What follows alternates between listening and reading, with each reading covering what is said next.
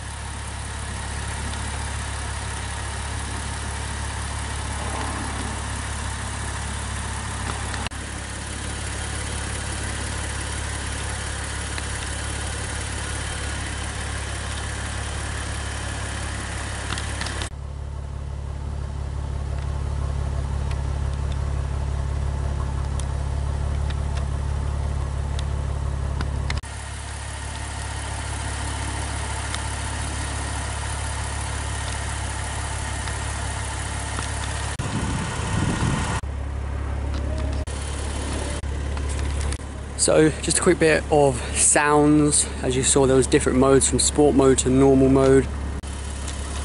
And for instance the normal mode was the quiet mode, the sport mode was the louder mode. So that is it. I semi hope you enjoyed